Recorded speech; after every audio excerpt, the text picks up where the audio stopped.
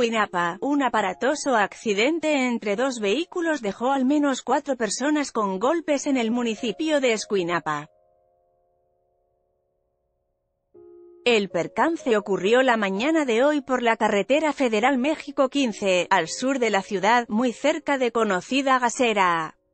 La llamada a los cuerpos de rescate indicaba que se ocupaba la presencia de paramédicos y ambulancias en la zona antes mencionada para la atención de los lesionados. Choque deja al menos cuatro lesionados en Escuinapa.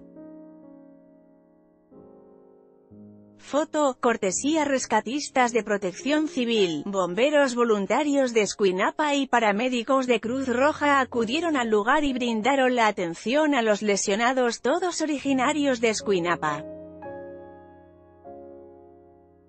Afortunadamente no resultaron con daños graves, solo golpes y raspones. El percance foto, cortesía e información proporcionada por fuentes policiales indican que un Mercedes circulaba de sur a norte por la carretera federal México 15 rumbo a Escuinapa, pero después de pasar los puestos donde venden camarón dio media vuelta en forma de U para retornar rumbo a Santa Anita.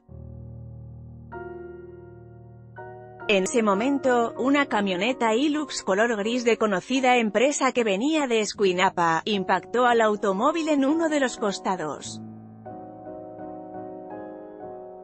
Al lugar acudieron agentes de proximidad social para iniciar con las indagatorias y deslindar responsabilidades. En esta nota, Escuinapa choque lesionados.